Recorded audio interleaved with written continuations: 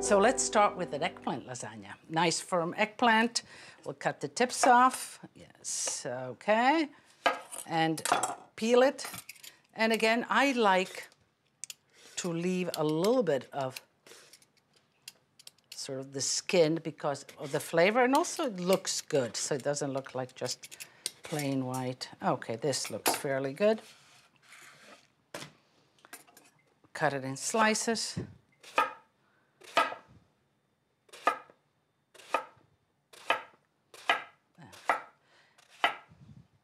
And the end piece might be a little um, hard. Now, eggplants, um, everybody loves them, and when they're good, they're super good. But sometimes they're a little bitter, and what really is uh, gives them the bitterness is the seeds, the black seeds like this. So in order to just safeguard your taste and your flavor, I usually salt them. And what you get, you get yourself a colander, and we have a weight here of a, just another bowl with any weight will do. You layer them along the side like this. And you can sort of fill them up with the layers of eggplant. Use some coarse salt, make sure that it goes on every eggplant. And then you weigh it down like this, and you let it like be like this for about a half an hour. And this is the juice that will come out of the eggplant, which gives it bitterness. And you discard that.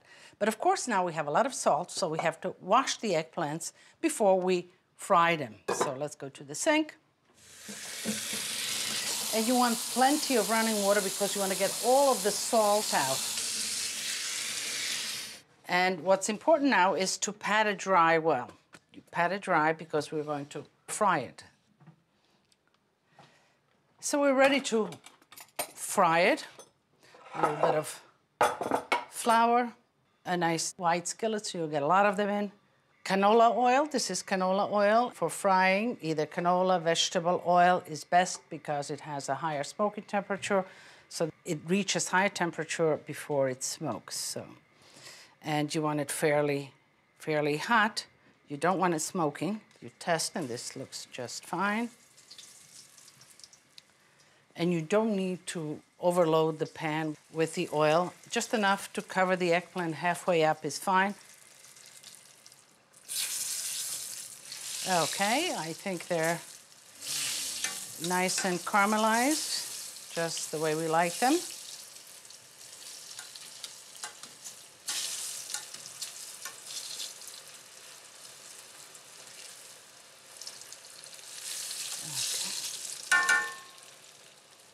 Few minutes on this side, and then we'll do another batch.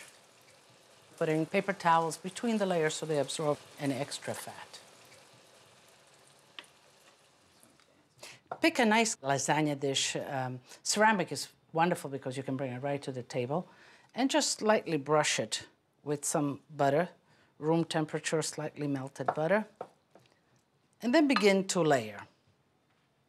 Uh, we begin with the bread and you just press it in. You know, the bread is day old, two day old bread. That's what you want to use. If it overlaps, that's fine. Just press it right into position. Okay. At this point, let's just soup it up a little bit with the sauce.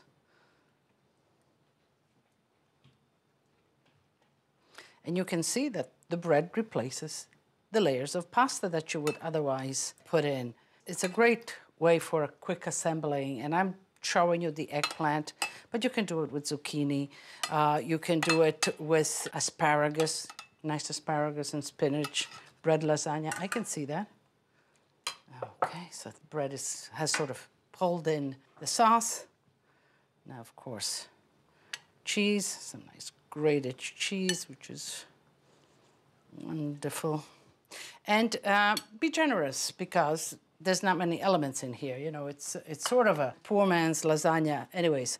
And then you layer the eggplant.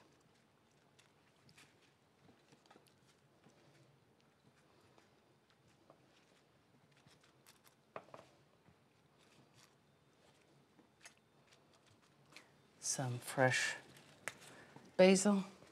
You can have it sort of cut before, you know, shredded before, but I kind of like just ripping it in. It is just getting into the food and feeling the food, and the smells are coming out. And mm. so a little more sauce on top of the melanzana. And the sauce is a rather simple sauce. Uh, like everything in this dish, it's a marinara. Garlic, oil, plum tomatoes with a little basil and a little bit of uh, salt. And another layer of bread. And you notice that I'm putting sort of the straight edge on the edge of the casserole so that this way we really get it all the corners covered. And then I overlap a little bit in the center. This one I'm going to do this way. And press it down gently.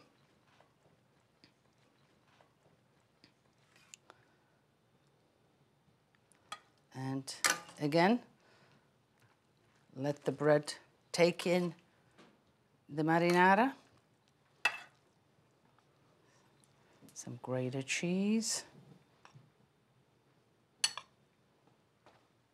Layer the eggplant. And when you do a lasagna, don't be afraid to sort of pat it into position. You want it to be compact. Again, a little bit of basil. That's. More marinara. And I will take a spatula and sort of really get it into the corners.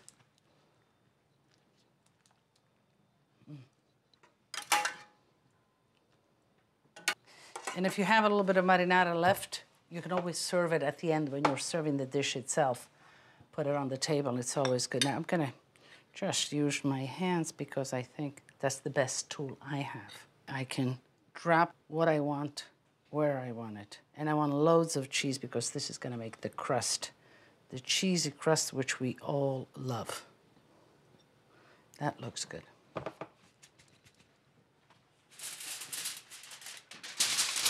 and cover it with foil paper.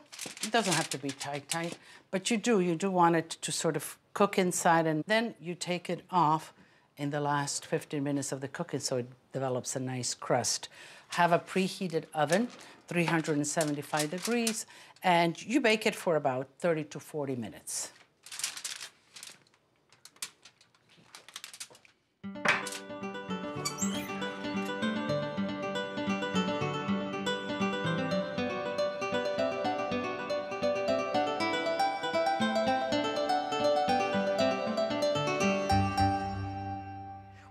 Toasting the bread now for the plum lasagna. Uh, wonderful lasagna, simple. So a little butter in a pan. And again, get yourself a nice white pan. So this way you get a lot of slices of bread in there so you don't have to do too many times. Toast them on both sides. Stand by because you want them nice and caramelized, but you don't want them burned. You see, they turn color right away. Okay.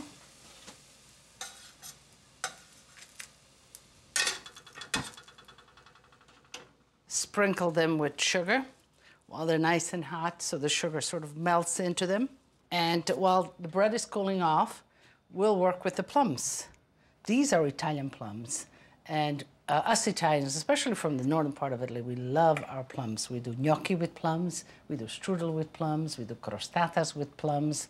Uh, so when in season, by all means, get these plums, the Italian plum. But otherwise, other plums, when they're ripe, not overripe, but when they're ripe, they're delicious for this dish. So basically, what you want is uh, wash it first, of course, and then you just split them in half with a paring knife, twist it around so that you have access to the pit. You just remove the pit. And again. And just remove the pit. All right. And um, we'll proceed to season these plums. In this bowl, we'll put some sugar. Even though the, the plums are sweet, you do need additional sugar. Lemon juice to add just a little bit of zest and acidity to it. Some lemon rind.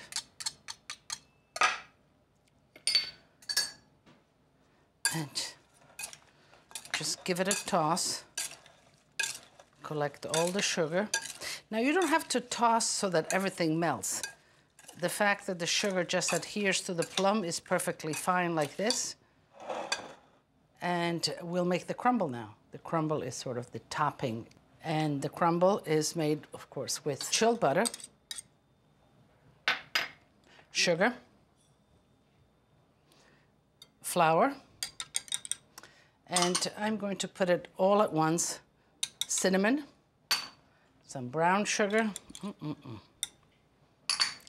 and some chopped nuts, coarsely chopped walnuts, and just roughly sort of. Now you can do this with your fingers, um, but if you do it with this cutter here, you don't touch the butter with the heat of your hands, and it remains more into a crumble.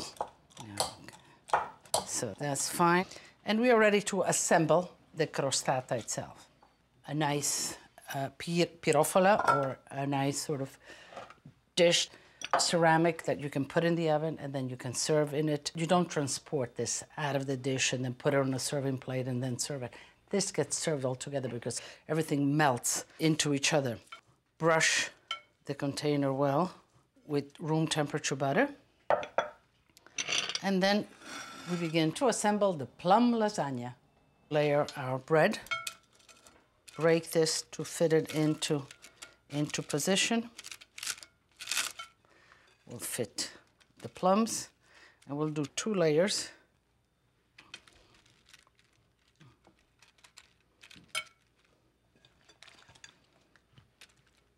And press it down into position. Let's take the other bread and press it into position. Hmm.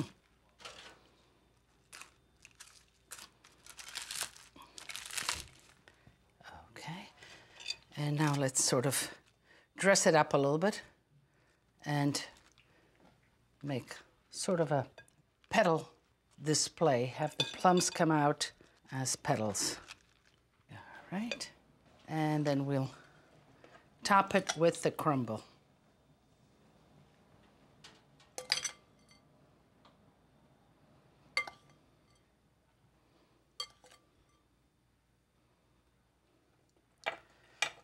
Again, let me just do it with the hands so I know exactly where I'm going.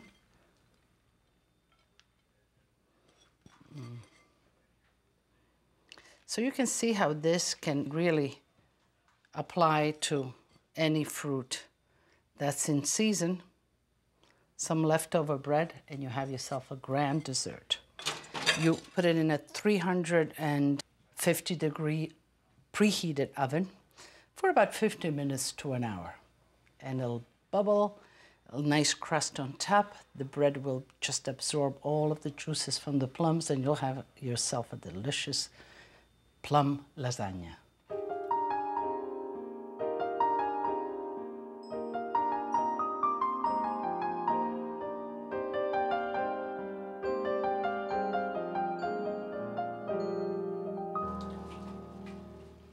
While the lasagnas are resting, they're done and they're bubbling and now they're resting, uh, we'll make some nice salad of uh, cooked string beans, some tomatoes, and some mozzarella in there.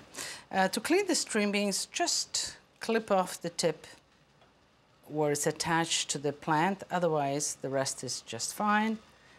Pot of boiling water, and just put it right in there. Okay. I think I lost one. Here we go. Let's cover it so you bring the boiling point up quickly again. And while they're cooking, we have an ice bath ready. We'll put them right in here so they retain their color and they chill right away. Uh, the tomatoes, ah, tomatoes. Uh, these are little sort of uh, little cherry tomatoes. You have all kinds of little tomatoes out there in the summer. You know, at our house, we have a little garden. It's not big, but it's our garden. I must say, it's grandma's garden, and she just loves it. You know, Grandma Erminia, you know her. She's 84. She doesn't mind me telling you. And uh, her best pastime is twofold in the garden or with the great grandchildren.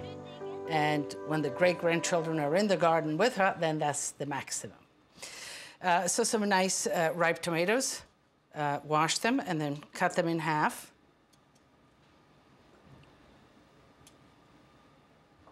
In the salad, I'll toss some fresh mozzarella, and this is fior di latte. Fior means flower, latte is milk, so it's the flower of the milk, so it's sort of the fresh, milky taste. Uh, you can use buffalo milk mozzarella, just fresh mozzarella like this, and you cut it in little cubes, about the same size as the tomatoes. And for best flavor, I mean, you, you keep it in the refrigerator, cut it, but for best flavor is when it reaches room temperature. So um, pull it out of the refrigerator a bit before tossing it. Let's check on the string beans.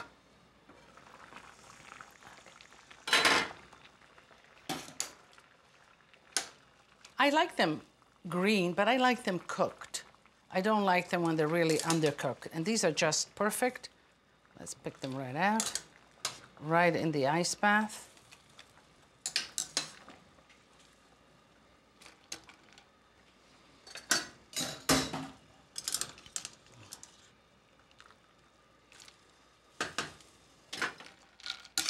So let's just toss them. They're ready to go. I don't want them cold, cold. I just want them chilled. Okay, a little piece of tomato got in here. I don't know how.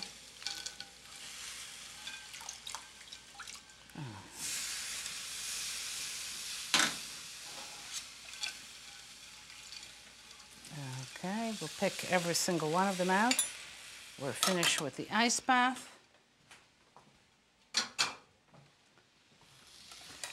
Just pat them dry a little bit. And we are ready to dress the salad. Put them right in. Okay. Okay, pick out any ice cubes that you have left in there. mm. Even the colors are Italian, very Italian. That's a beautiful salad salt, and I'll wait to add the mozzarella at the last minute. And you know, mozzarella does not have salt in it. It's not usually salted, so I'm generous with the salt in the salad. Olive oil.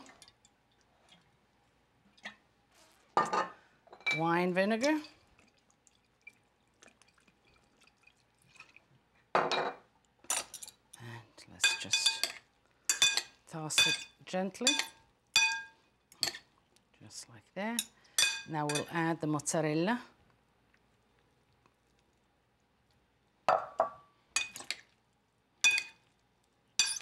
And this is a beautiful salad at any time. It could even be a main course. Certainly a wonderful appetizer. In this case, a nice uh, plate of this salad and then some of our eggplant bread lasagna. Doesn't get any better. Just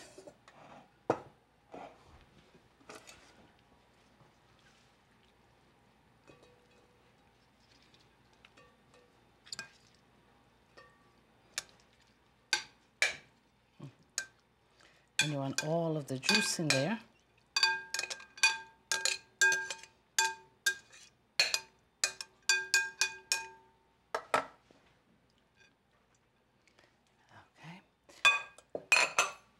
Of course, to crown the whole dish, a little basil, and you can cut it before, but I sometimes just like cutting it right on top of things. And since basil changes uh, color, especially with acidity, put it on top and just before your guests begin to serve themselves, you give it a toss. All right, let me just do one more thing for you. And then we'll be all done. Okay. All on top. That looks wonderful.